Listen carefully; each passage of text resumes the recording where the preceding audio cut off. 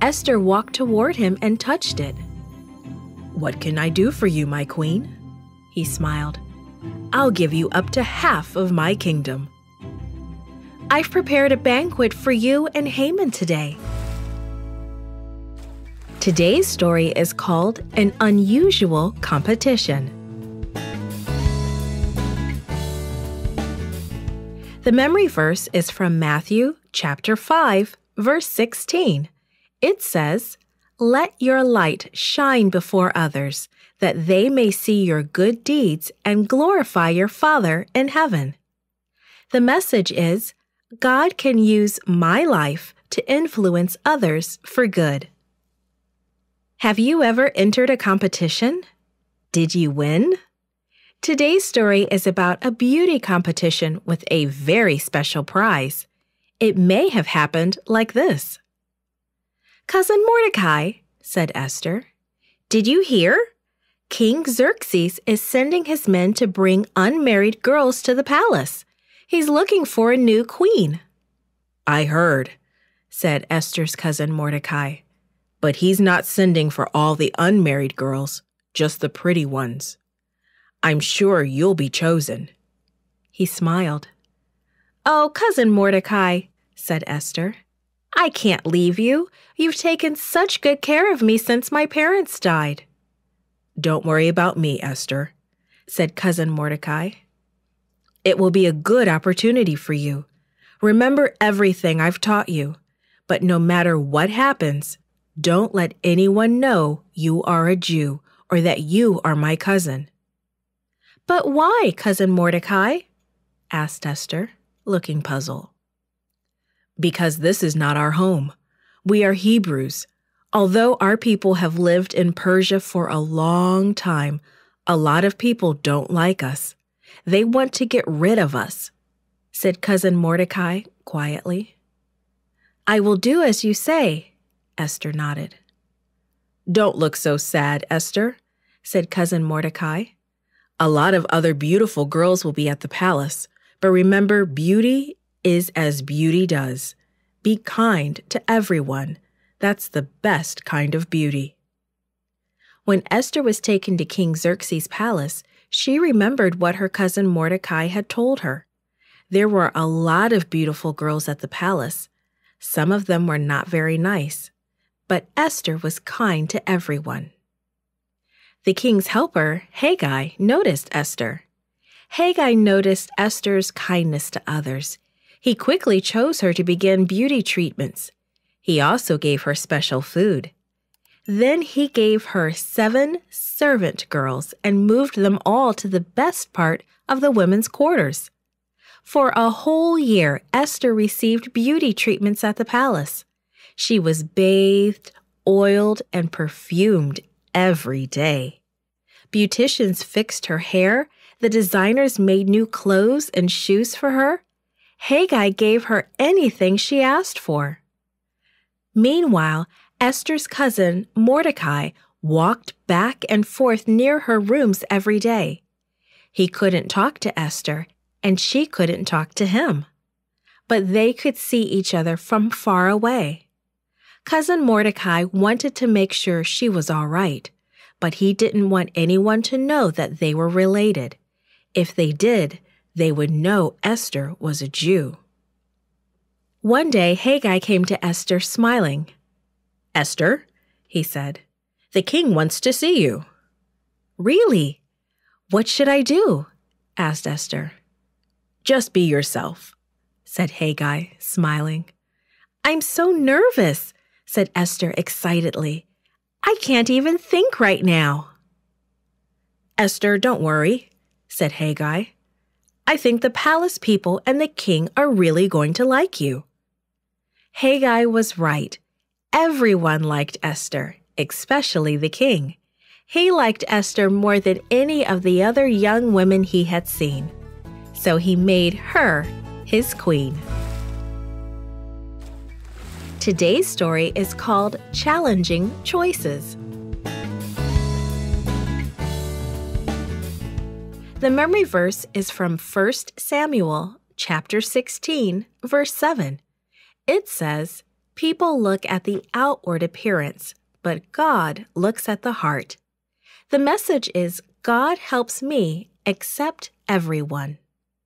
Have you ever been in a situation in which you did not know what to do? Queen Esther was. Read on to find out what she did. Mordecai was happy that Esther became queen, but he still did not want her to tell others that she was a Jew. One day, when he was sitting at the palace gate, Mordecai heard two guards talking. They were angry with the king and were planning to kill him.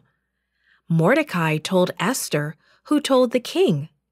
King Xerxes investigated Mordecai's report. It was true. The guards were arrested and hanged. All of this was written in the daily court record. About the same time, King Xerxes made Haman his second in command. King Xerxes ordered that everyone should bow down to Haman when they saw him. And everyone did, except Mordecai.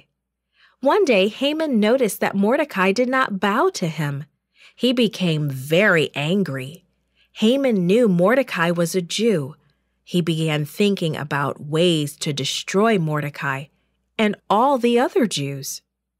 Haman decided to tell the king that a certain group of people were causing trouble and that they should be destroyed. He said that he would pay the people who destroyed them. He did not tell the king that the people were Jews. Keep your money, the king said to Haman, and do with the people as you please. When Mordecai heard the order, he put on rough clothes. He covered himself with ashes and cried at the city gate. Esther's servants told her how Mordecai was dressed. She sent good clothes for him to wear, but he refused to put them on. Esther sent Hathach, her servant, to talk to Mordecai. Mordecai told him everything that had happened. He even gave Hathach a copy of the order for Esther. Mordecai told him to ask Esther to go to the king and beg for mercy. Hathach hurried to give Esther the message. Esther sent a message back to Mordecai. No one may go to the king's throne room without being called. If anyone goes and the king holds out his gold scepter, that person may live. But if the king doesn't, that person dies. And I haven't been called to the king for 30 days. Mordecai answered, Just because you live in the king's palace don't think that the people won't soon know you are a Jew. You can't escape. If you remain silent, help will come from another place, but you and the rest of our family will die. And who knows, you may have been chosen to be queen to save us at this terrible time. Esther sent one final message to Mordecai Get all the Jews in Susa together Tell them not to eat or drink anything for three days and three nights. My servants and I will do the same. Then, even though it's against the law, I will go to the king, and if I die, I die. What will happen to Esther? Will she die? We'll learn more next week. Hello, friend. Good to see you here. Hold on there, young man. My friends and I had so much fun. Esther's Banquet. The memory verse is from Proverbs chapter 3, verse 6. It says, In all your ways, submit to him, and he will make your paths straight. The message is with God's help, I have the courage to do what is right. Have you ever been to a special dinner where everyone dressed in their best clothes? Esther planned a special dinner, a banquet, for the king and Haman. After three days and nights of not eating or drinking, Esther dressed in her prettiest clothes. Then she went in to see the king. She walked to the door of his throne room and stood quietly. When King Xerxes saw her, he smiled and held out his gold scepter. Esther walked toward him and touched it. What can I do for you, my queen? He smiled. I'll give you up to half of my kingdom. I've prepared a banquet for you and Haman today, replied Esther. Will you please come? Of course, we'll be there, he said to Esther. Later, when Haman and the king were at her banquet, the king asked Esther, What can I do for you, Queen Esther? Remember, I'll give you up to half of my kingdom. Come back tomorrow with Haman for another banquet, she replied. I will answer your question then. Haman left for home feeling very happy. Not everyone was invited to dinner with the king and queen. Then he saw Mordecai sitting at the gate. Mordecai did not bow to him. He didn't even stand up when he saw Haman. Haman was very angry, but he said nothing. When Haman arrived home, he bragged to his family and friends. I have ten sons. I have money and power. The king likes me. He gave me a great position. I am the most important person in the palace after the king. I am the only person Queen Esther invited to her banquet for the king. And she invited me back again tomorrow. Then he complained to them about Mordecai. Everything would be perfect except for him, he said. He's always sitting at the king's gate. He refuses to honor me. Why don't you have him hanged? Someone suggested. Haman liked that idea, so he had his workmen build a hanging platform. That night, the king had trouble going to sleep, so he asked one of his servants to bring the daily court record to him. He read about the two guards who planned to kill him. Then he read about Mordecai's part in reporting those plans. Mordecai saved my life. Did we reward him? the king asked a servant. No, sir, said the servant. We never did. The next morning, Haman came before the king. He planned to ask for permission to hang Mordecai. But before he could say anything, the king asked him a question What should be done to honor a man who has done a good thing? Haman thought the king was talking about him. So he replied, Give him a royal robe and crown to wear. Let him ride through the streets on a royal horse. Let your servant announce, This is what the king does for a man he wants to honor. I like that idea, Haman, King Xerxes replied. Do everything that you've said for Mordecai right away. Don't leave anything out. Haman had to do what the king asked, but he was so embarrassed and ashamed that he hid his face all the way home. When he got there, he told his friends and family what happened. You're losing all your power to Mordecai, they said. You can't win. You're going to be ruined. But before Haman had time to answer, the king's servants arrived. They hurried Haman away to the second banquet Queen Esther had prepared. What would happen? What would Esther say? God would be with her, and God will be with you too. Today's story is called Rescued. The memory verse is one of my favorite memory verses. It's from Esther chapter 4, verse 14. It says, Who knows but that you have come to royal position for such a time as this. The message is God leads us to opportunities to serve Him and His people.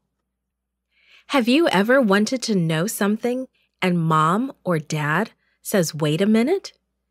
It feels as if you're going to burst with curiosity. That is probably how King Xerxes felt when he came to Esther's second banquet. King Xerxes and Haman were enjoying Esther's second banquet, but the king was curious. He wanted to know what Esther wanted and why was she taking so long to tell him. Queen Esther, he said, what is it that you want? You may have up to half of my kingdom. My king, if you truly care for me, please let me live, and let my people live too, she pleaded. I have been told that we are all to be killed. If we were to be sold as slaves, I would say nothing, but we are to be destroyed. What? Who has done this? Where is he? The king shouted angrily. It is Haman, that man, said Esther, pointing at Haman. Haman stopped eating. He was frightened. He hadn't expected Esther to know. He could tell the king was very angry. The king slammed down his glass and stormed from the room.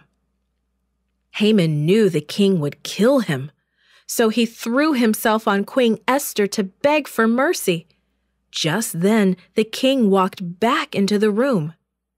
Haman, he roared, how dare you attack the queen, especially while I am still here? As soon as the king said the words, the king's servants rushed forward. They covered Haman's face and took him away. One of the king's servants, Harbona, spoke to the king. Haman has built a hanging platform in his own yard. He built it for Mordecai, the man who warned you about the plan to kill you. Hang Haman on it, the king ordered. King Xerxes gave Queen Esther everything Haman owned. Esther told the king that Mordecai was her cousin. She explained how Mordecai had raised her. The king sent for Mordecai. He gave Mordecai the ring that he had taken back from Haman. That ring was a symbol of the power the king gave to Mordecai. Mordecai was now the king's assistant.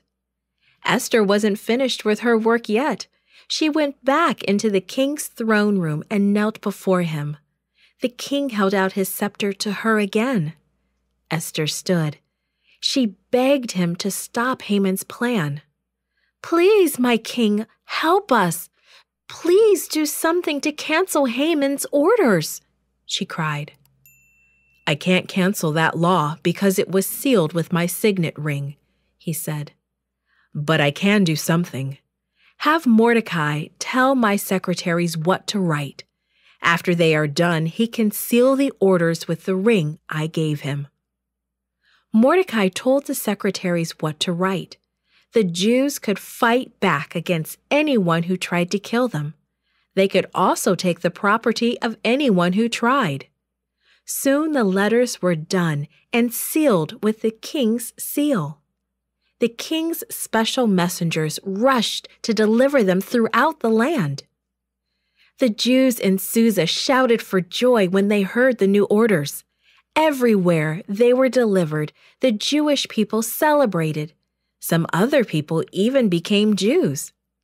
From that day to this day, Jews have celebrated the Feast of Purim. For two days each year, they celebrate they remember how Esther and Mordecai served God, how they helped save God's people from death. No, no, no. The memory verse is from Psalm 119, verse 11. It says, I have hidden your word in my heart that I might not sin against you. The message is when I have God's word in my heart, I can say no to Satan. Have you ever been tempted to do something that mom or dad have told you not to do? To do something you know is wrong?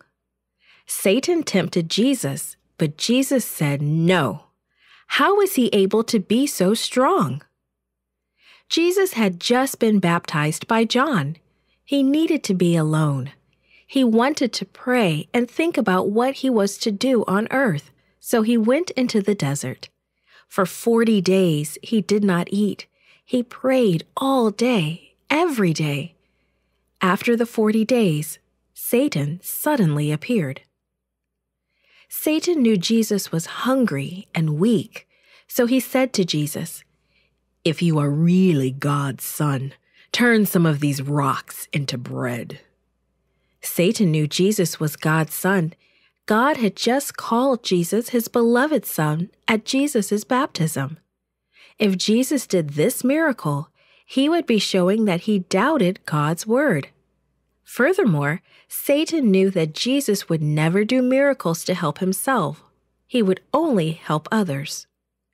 Jesus had learned the scriptures from his mother and at the synagogue his family attended. When Satan said, Turn some rocks into bread, Jesus thought about the things he had learned. People don't live just by eating, he replied, but by the words that come from God. God had said that Jesus was God's son, so he did not need to prove it. Jesus wanted Satan to know that to obey and trust God was more important than food at the moment. Jesus knew he could depend on God to provide food for him at the right time. Then Satan led Jesus to the temple in Jerusalem. Satan took Jesus to one of the highest places on the temple. It was probably the place where the priest stood to blow the horn to call the people to worship. If you are God's son, sneered Satan, jump off. The scriptures say your father will send angels to rescue you. They'll catch you and keep you from crashing onto the rocks. That was true. God had promised that angels would keep his people from crashing onto the rocks. But Jesus knew he shouldn't purposely put himself in danger and he did not want to use the power God gave him to save himself, so he knew he wouldn't jump. The scriptures also say, Do not challenge the Lord, Jesus replied. Satan tried one more thing. He took Jesus to a high mountain. There he showed Jesus all the kingdoms of the world. Bow down and worship me, he demanded, and all this can be yours. Satan was lying. He couldn't promise the world to Jesus. It didn't belong to him. The world and everything in it belongs to God. Satan knew if Jesus bowed down to him, he could never save the world. Everyone would be lost forever. Get away from me, Satan, Jesus commanded. The scriptures say you must worship and serve only God. Satan left Jesus then. He knew Jesus would never worship anyone but his Father. After Satan left, angels came to be with Jesus. They comforted him. They gave him food and water. How did Jesus resist Satan's temptations? He read the scriptures and thought about them. He went to the synagogue every week. He participated in worship services. And he prayed you can read one of his prayers in John 17. Worshipping God gave him strength. You too can gain strength as you worship God. Time to pray. The memory verse is from Luke chapter 5, verse 16. It says, Jesus often withdrew to lonely places and prayed. The message is I worship God in my daily, quiet prayer time. How often do you talk to someone you love and who loves you? Once or twice every day? Jesus talked with God every day because he loved God and knew God loved him. The man called out, Unclean! Unclean! It had been a long time since he had noticed the first pale spot. When more spots appeared, he had gone to the priest, and he heard those awful words You have leprosy. He had to leave his family and home. Whenever he came near people, he had to cry, Unclean! One day the leper heard that Jesus healed people. He wondered about that. Could Jesus heal him? Maybe Jesus could cure him. The leper did not know how to find Jesus, but he would try. He could not go near the cities, so he looked for Jesus in the small towns. He traveled on mountain trails where no one else went. Finally, the leper found Jesus, teaching people by a lake. He stood away from the crowd and watched. He saw Jesus heal people. He listened to Jesus' kind words. His hope became faith. He believed Jesus could help him. So that man began to move closer to the crowd. He forgot that he wasn't supposed to be near people. He thought only about being healed. When people saw him, some ran away. Others shouted at him. Others tried to stop him from getting close to Jesus. They did everything but touch him. But the leper had not come this far to give up. He fell to his knees, saying, Lord, I know you can heal me and make me clean if you choose to. I will, said Jesus as he touched the man. Be healed. He touched me, thought the man. No one has ever touched me in a long, long time. He looked at his arm. The white patches had disappeared. All over his body, the sores had disappeared. His skin had returned to a normal color, just like that of the people watching him. Go now and see the priest, said Jesus. Let them say you are clean, and give your thank offering. But don't tell anyone what I did for you. The man did as Jesus said, except for one thing. He told everyone he met, and more people than ever began looking for Jesus. They followed him everywhere. Jesus needed some quiet time to talk with God. He often slipped away from the people for a while so he could have time to pray, time to talk with his Father. It was hard to talk when people were crowding about him so Jesus found quiet places where he would not be disturbed. Often Jesus would get up when it was still dark to talk to his Father, or he would pray all night. His favorite quiet place was the Garden of Gethsemane. So many people wanted so much from him. He knew he needed power and wisdom from God, so he prayed every day.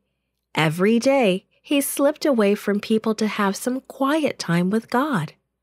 We can get power and wisdom from God too. We need daily prayer time too. When we pray and worship God every day, He is with us.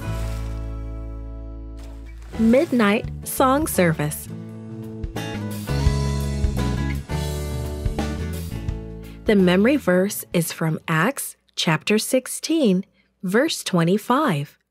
It says, About midnight, Paul and Silas were praying and singing hymns to God. The message is I worship God when I praise Him, no matter what happens. Have you ever been blamed for something you did not do?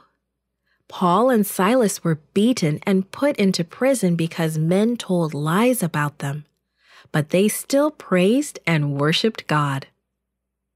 These men are servants of the Most High God. The slave girl's voice rang out as she followed Paul and Silas down the street. She had been following them for days, shouting over and over, These men are servants of the Most High God. Suddenly, Paul turned around and commanded, In the name of Jesus, come out of her. Immediately the evil spirit left her, and she became silent. Her masters watched in astonishment. Then their astonishment turned to anger as they realized what Paul had done. The slave girl had made them wealthy by telling people's fortunes. Now the evil spirit had left her. She would not be able to tell fortunes. She would no longer earn money for them. Her owners grabbed Paul and Silas. They dragged them to the marketplace and took them before the local judge. They accused Paul and Silas, saying, These men are Jews. They are stirring up trouble and encouraging people to go against Roman practices. An unfriendly crowd quickly gathered.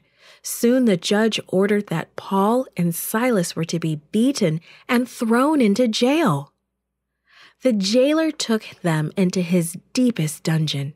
He put their feet in stocks and locked the door, leaving them in darkness.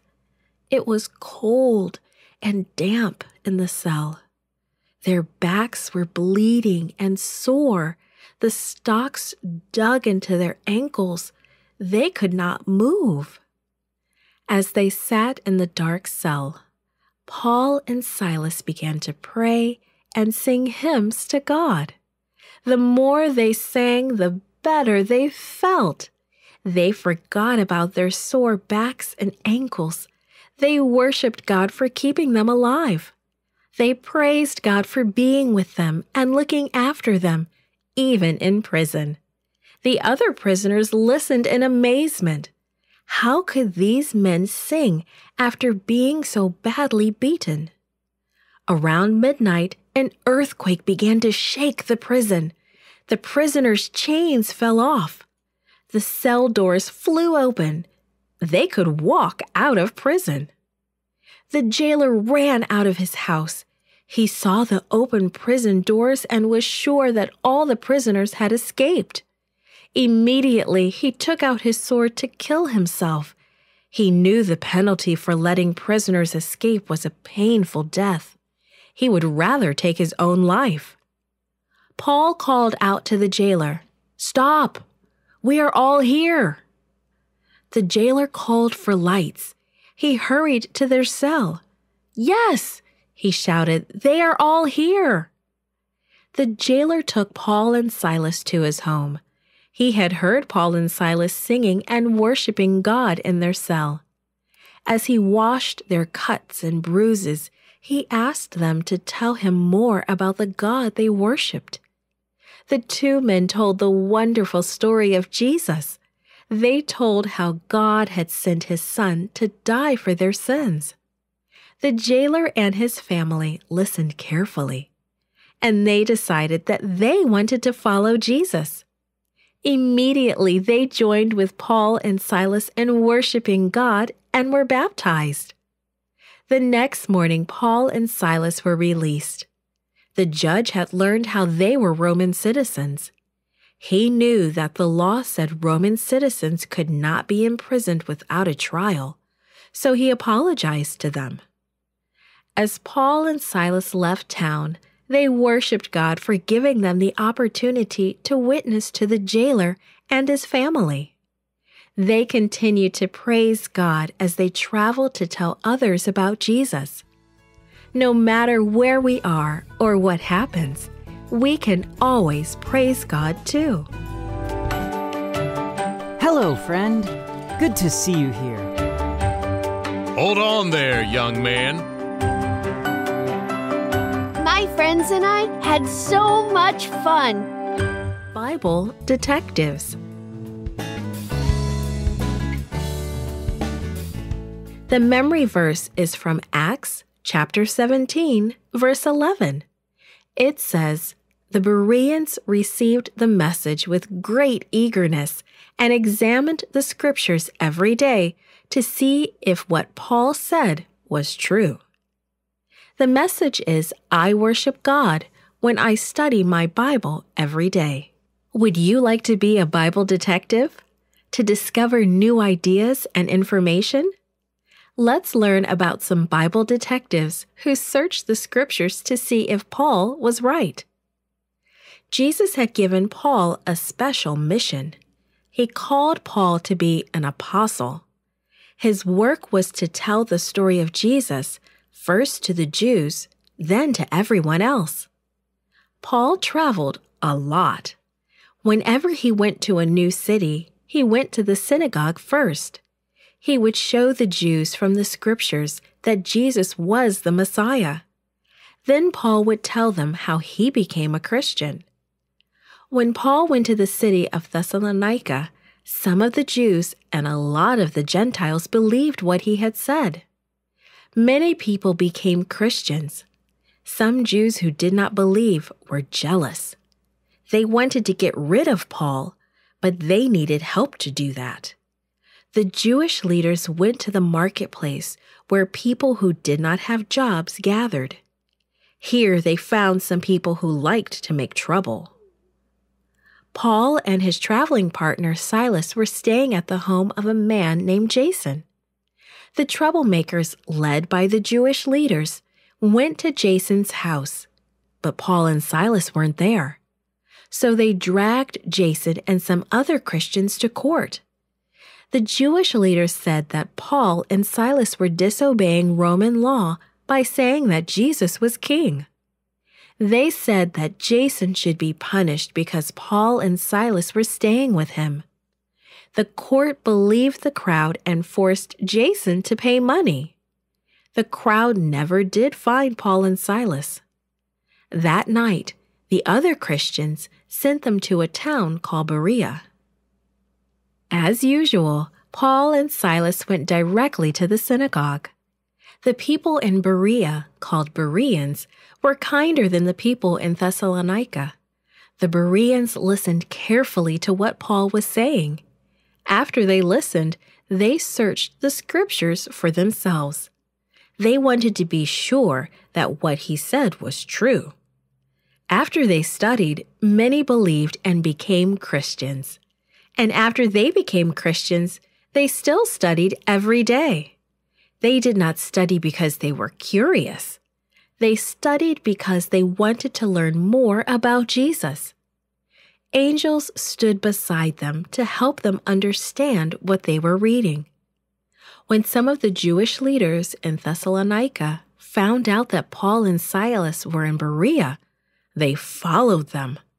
They found the same kind of troublemakers in Berea and started another riot. But the Berean Christians sent Paul to the city of Athens. There he would be safe. Silas and Timothy stayed behind to help the Bereans learn more about Jesus. Some of the new Berean believers went with Paul. When they arrived in Athens, Paul sent them back to Berea he asked them to take a message to his friends. He wanted Timothy and Silas to join him when their work was done. The Bereans continued to search the scriptures. They wanted to know more about God. They wanted to learn more about Jesus. Jesus invites us to study the Bible every day. He wants us to learn more of His Word. As you read the scriptures, He will help you understand them. Just ask Him. He wants you to know Him better. Final letter to a friend. The memory verse is from 2 Timothy chapter 1 verse 8. It says, "Do not be ashamed of the testimony about our Lord." The message is I worship God when I thank him for Christian role models. Do you like to hear news from a friend who is far away? Paul missed his friend Timothy, so he wrote a letter asking him to come visit him. Paul looked around his bare prison cell.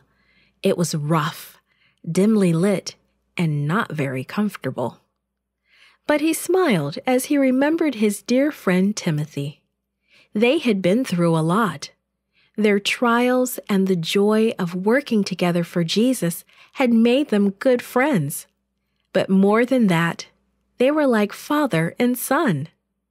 Paul remembered when they first met. Paul had gone to Lystra. Some people there did not want him to preach about Jesus, so they dragged him outside the city gate and threw stones at him. That was when he met Timothy. When Paul went to Lystra again, Timothy was ready to help him. Even though he was still a teenager, he knew the scriptures. Timothy's father was Greek. Eunice, his mother, and Lois, his grandmother, were Jewish Christians. They had taught Timothy from the scriptures since he was a little boy. They had encouraged him to keep his mind and heart pure. It was their guidance that helped Timothy choose to serve God. Timothy became Paul's assistant. They traveled many miles together, facing many hardships, and their love for Jesus grew and grew. But now Paul was in prison, and Timothy was working in Ephesus. I think I'll write Timothy a letter, Paul thought. I would love to have him visit me. I know it will take quite a while for him to get here, even if he comes right away. Why? It will probably be several months before I can see him, and who knows, I could lose my life any day. But I'll write and ask him to come anyway. And I'll leave some instructions for him in case I should die before he comes. He began to write Dear Timothy, you have been like a son to me. I wish you grace and peace and mercy from our Lord Jesus Christ. Every day I pray and thank God for you. I am so happy for your faith and for all that you learned from your mother and grandmother. Use that gift of faith. Let it grow into a big fire. Don't be afraid of anything or anyone. If someone is doing something wrong, tell him. Use the power that God gave you. God gives us strength to tell everyone the good news. Never be ashamed to tell people about Jesus. Preach the gospel every time you have a chance. Use the Bible as your weapon. Do not listen to what people say. Read for yourself what is true. Do not listen to false teachers. Protect other believers from their lies. Teach them everything I have taught you. The Holy Spirit will help you. Even though I am in prison, keep believing in God. Please come and see me as soon as you can. When you come, please bring my coat and my books. Be careful of the people who have hurt me. They will try to hurt you too. Say hello to our friends. May the Lord's grace be with you. Paul. Paul's letter to Timothy guided and encouraged him, and it guides and encourages us today. Women take the lead. The memory verse is from 1 Peter chapter 2 verse 17. It says, Show proper respect to everyone. Love the family of believers. Fear God. Honor the emperor. The message is we respect leaders God has placed in authority. Have you any special jobs you do at home? Does your mom or dad ask you to do things? God has special work for each of us. Let's discover more about one person whom God gave a special work. God gave Deborah a special responsibility to lead Israel. It was hard work. The people did not obey God, they worshiped idols instead. Twenty years earlier, King Jabin had attacked Israel.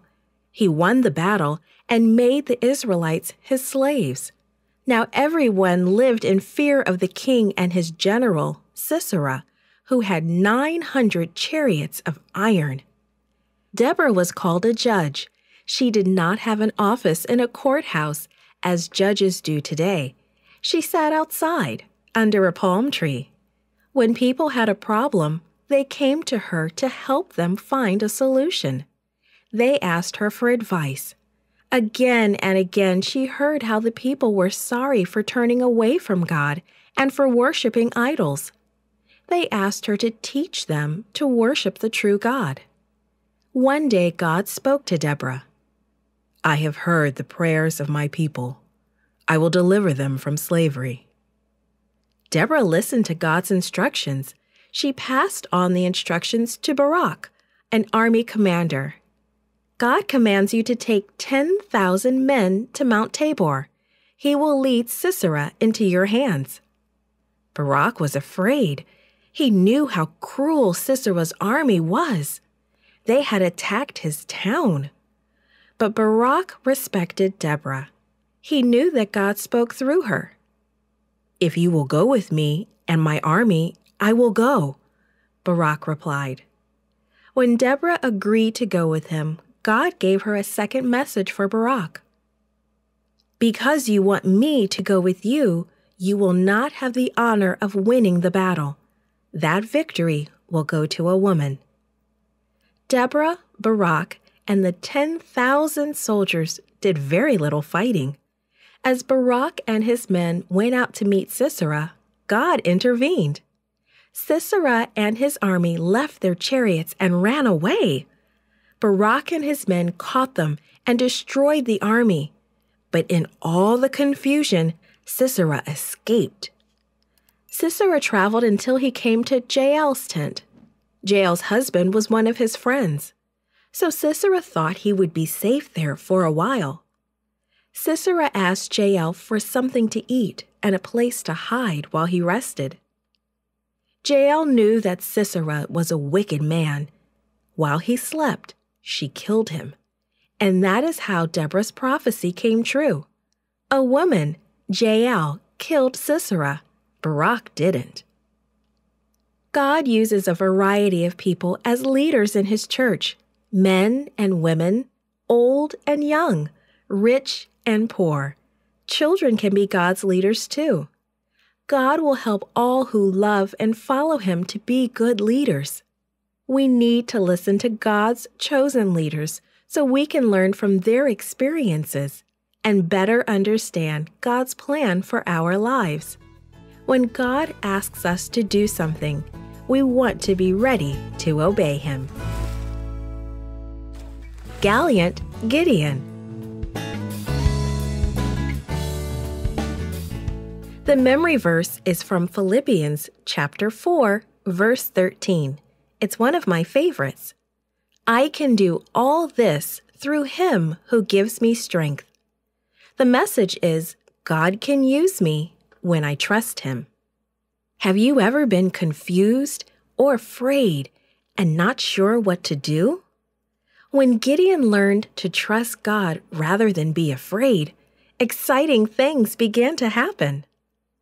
Forty years after Deborah and Barak defeated Sisera, Israel forgot God and began worshiping idols again. Because the Israelites left God's protection, for seven years, Midianites and Amalekites caused problems for the Israelites. They stole their food and destroyed their homes. Many of the Israelites lived in caves just to survive. God looked around for a leader, someone who would trust him. He found Gideon. Gideon was hiding from the Midianites while he was grinding wheat. Suddenly, the angel of the Lord appeared and said, The Lord is with you, mighty warrior. Gideon was startled. He was no mighty warrior. His family was the smallest in the tribe of Manasseh. He was certainly not feeling very brave. I will be with you, God told Gideon. We will destroy the enemy together. Gideon was not sure. He asked the angel to wait while he made a meal for the angel. He put the meal on a rock, and almost immediately it was burned up by fire. Gideon asked God for two more signs. He wanted to be certain that God was with him he held a fleece in his hand and spoke quietly. If you are going to help Israel defeat Midian, let this fleece be wet tomorrow morning, and the ground under it be dry. The next morning it was just as Gideon had asked. No dew had touched the ground, but the fleece was soaked. Gideon tested God again. This time, let the fleece be dry and the ground be wet? he asked. The next morning, his request was granted. Gideon called an army to fight Midian, and 32,000 men joined him. Now God tested Gideon. There are too many men, God said. Send some home. Gideon knew that the Midianites and Amalekites had a huge army, but he obeyed God and sent 22,000 men who were afraid home. God tested Gideon again. Take your men to the river to drink. Look for the ones who drink standing up. Send all the rest home. Only 300 men passed the second test. God finally had a small enough army. That night, Gideon divided his army into three companies. Armed only with clay jars, trumpets, and torches, they hid on three sides of the Midianite camp.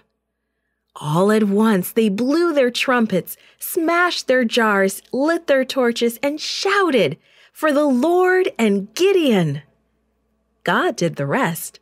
Awakened by the shouting, the Midianites and Amalekites rushed from their tents and began to fight each other. They were confused. Many ran away. And as they ran, Gideon's soldiers chased them. The Midianites and the Amalekites no longer bothered the Israelites. The Israelites could live with no fear because they chose to stay with God. God wants to help us with our most difficult problems. It is easy for Him to destroy our fears. It will be easy for us to trust Him when we remember all that He can do and all that He is willing to do for us. God won the victory for the Israelites. God will win the victory for you too. Strong outside, weak inside. The memory verse is from Psalm chapter 51, verse 10. It says, Create in me a pure heart, O God. The message is God loves me and can work with me even though I make mistakes. Have you ever done something you knew was wrong? How did you feel? That is probably how Samson felt. Again and again, he ignored God's plan. But God did not give up on Samson. Samson grew up hearing his mother telling him about God's special plan for his life. She often spoke of the angel who had spoken to her and Samson's father before he was born. The angel told them that Samson's hair should not be cut. He was to become a Nazarite, set apart to serve God. God had promised as long as you do not cut Samson's hair, I will give him strength. God wanted Samson to use his strength to lead Israel against the Philistines. But Samson did not follow all of God's instructions. Samson wanted his own way. He wanted to follow his own wishes, not God's. Even though Samson continued to disobey God and do what he wanted, God still worked with him to bring down the Philistines. One day, Samson went to the Philistine city of Gaza to see a woman there. Then he was trapped in her house. It was midnight. Some men were whispering outside the house. The house is surrounded, they said. We'll kill him at dawn. Even though Samson had abandoned God, God was still with him. Samson ran to the city gates, but they were locked. Then Samson grabbed the huge wooden doors, lifted them right out of the ground, and walked away. The Philistines were amazed. Not long after his escape from Gaza, Samson went to see a Philistine woman named Delilah. When the Philistine leaders found out about this, they went to see Delilah. We'll give you lots of money if you find out the secret of Samson's strength, they promised. Three times Delilah begged Samson to tell her his secret. Three times he told her a lie. Three times she tied Samson, then called to him, The Philistines are attacking you. Three times Samson escaped easily. You don't love me, Delilah finally told Samson. If you really loved me, you would tell me the secret of your strength. You would tell me everything. Every day, Delilah begged Samson to tell her the secret of his strength. Over and over, she begged him until Samson got tired of hearing her ask. Samson finally told her the secret of his strength. If my head were shaved, I would be weak, he said. That night, Delilah had Samson's hair cut. Then she screamed, Samson, the Philistines are attacking you! This time, Samson's strength had left him. More important, God had left him too. The Philistines captured Samson and put out his eyes. They took him back to Gaza through the very gates he had once carried.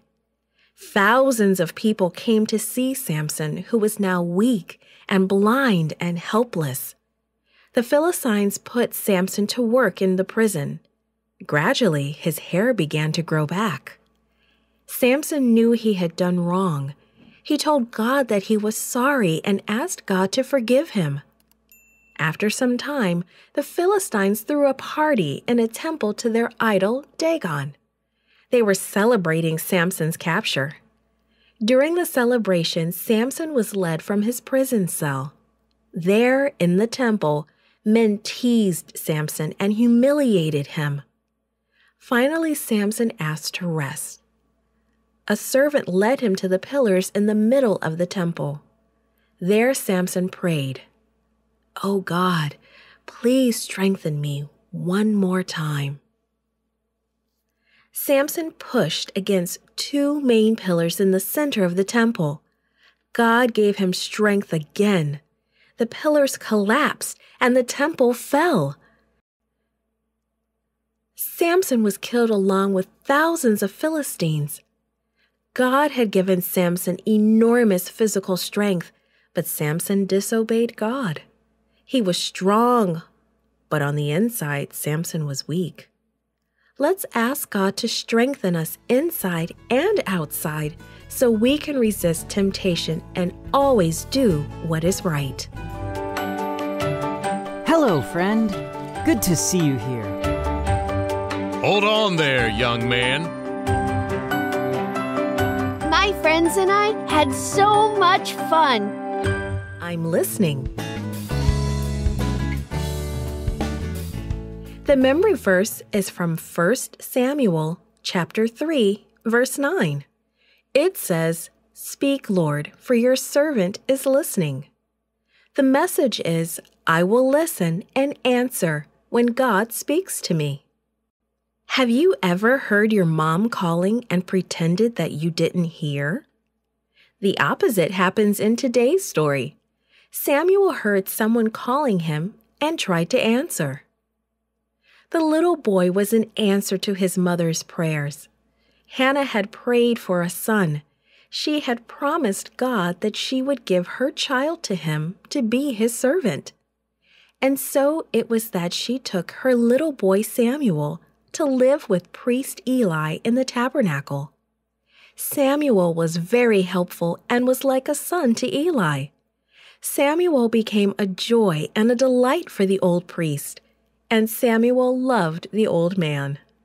In those days, the Lord did not speak directly to people very often, but God would soon speak to Samuel in a most unusual way. Eli's eyesight was failing, he was almost blind, and he really needed Samuel's help. One night, Eli and Samuel had gone to their rooms and were about to fall asleep when suddenly Samuel heard a voice calling, Samuel! Samuel sat up with a start. A lamp still burned nearby. Did Eli need him?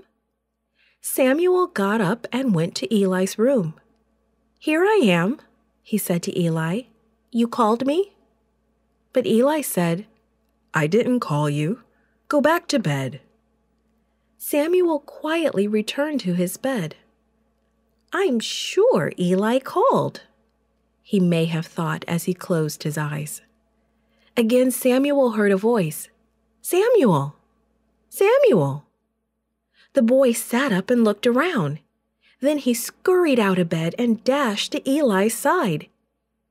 I am here, he said. You called me? No, Samuel, I didn't call you, responded Eli. Go back to bed. So Samuel returned to his bed.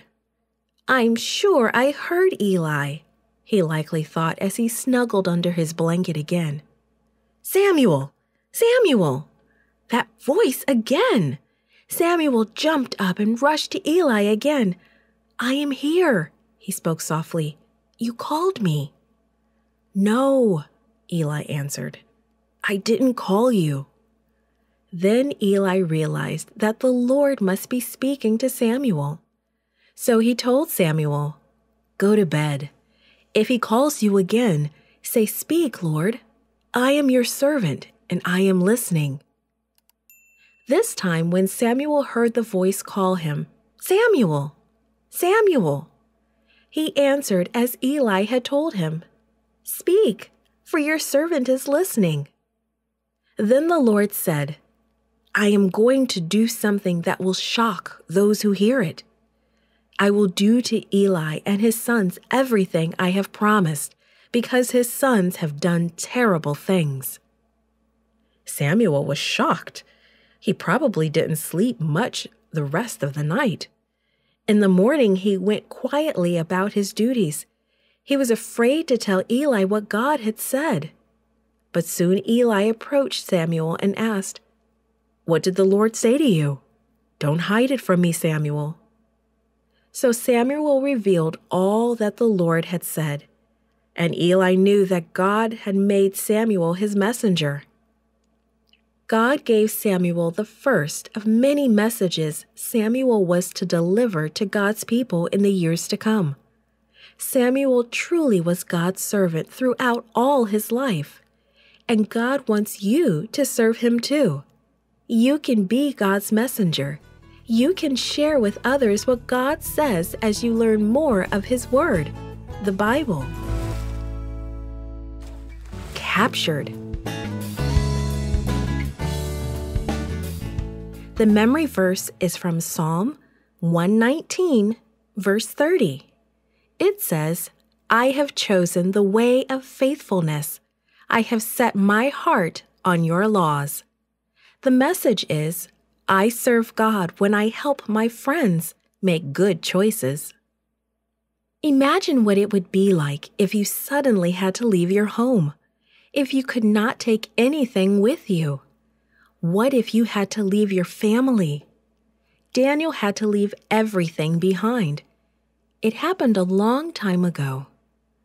The people of Judah had forgotten about God again. Many chose to break God's laws and worship idols. But a few people still loved and worshiped the true God. Daniel's family was among them. When Daniel was born, his parents gave him a special name. They wanted to remind him always to be loyal to God. Daniel's name means God is my judge. His parents wanted him to know that it did not matter what people around him did or said. The only thing that really mattered was whether God would be happy with what Daniel did. As he grew up, Daniel decided to live for God. He put God first in everything he did. God came first in his everyday chores and in bigger things. Daniel wanted to be a servant of God, just as Samuel had been. Daniel lived in Jerusalem, the capital city of Judah.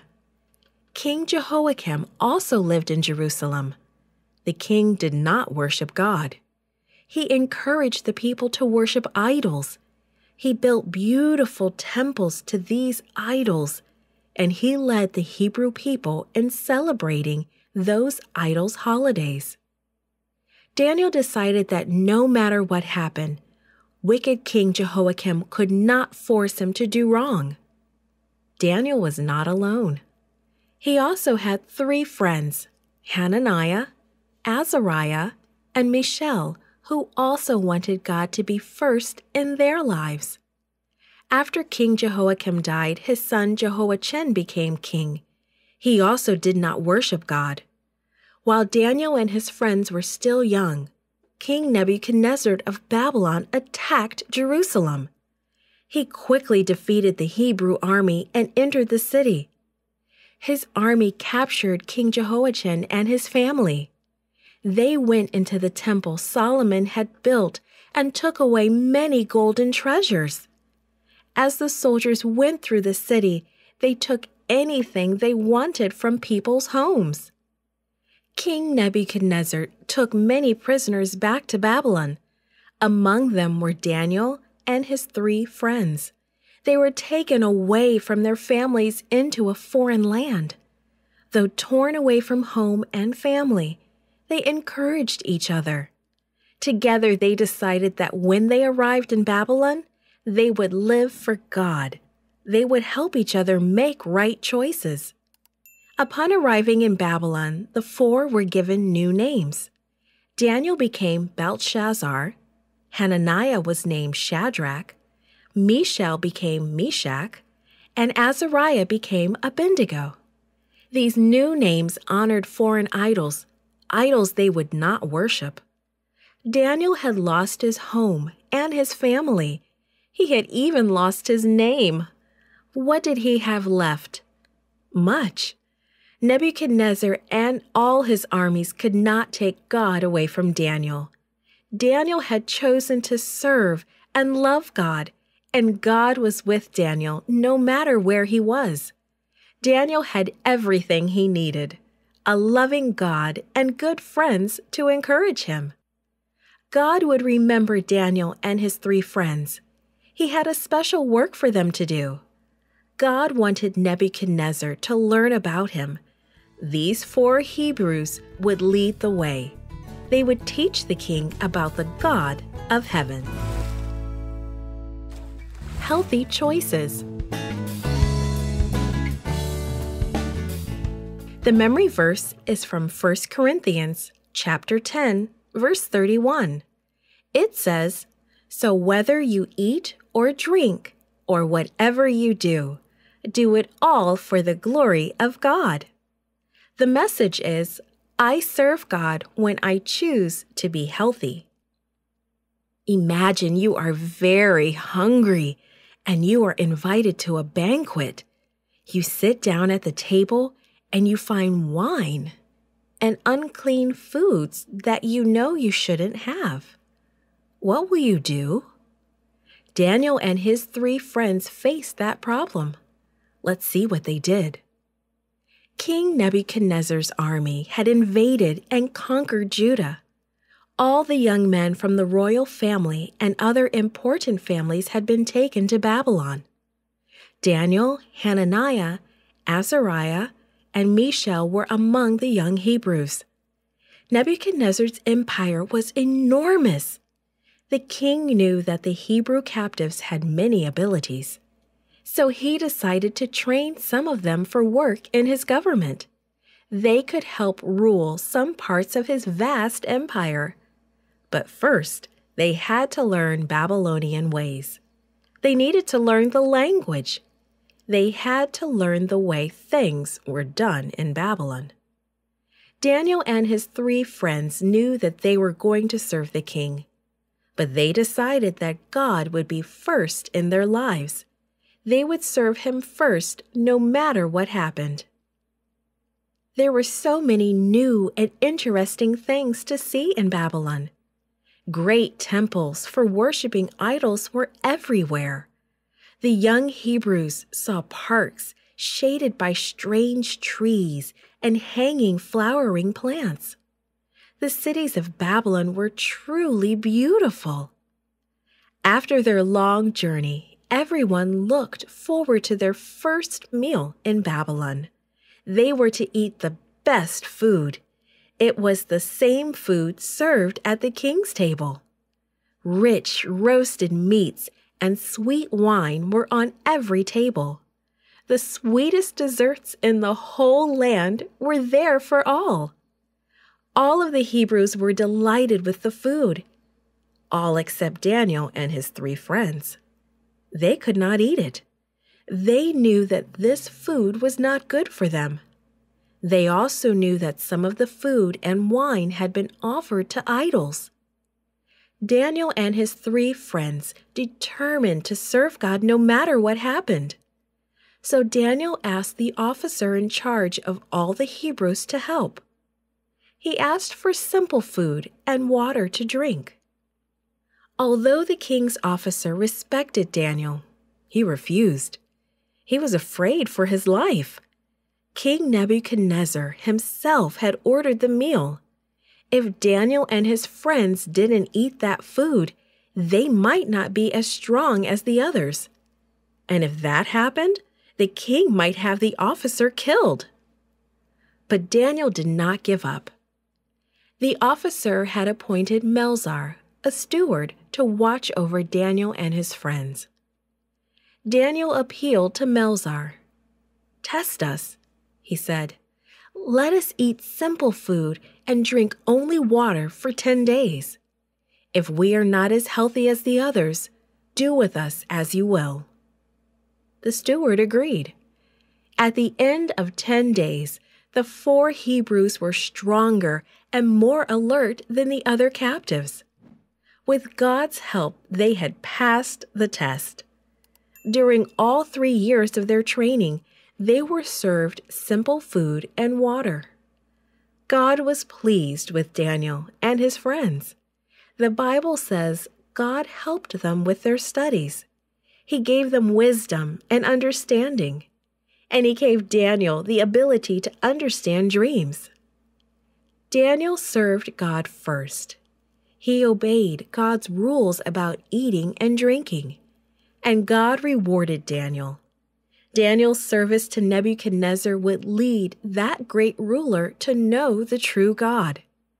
When we put God first, He can use us to show others the great things He can do.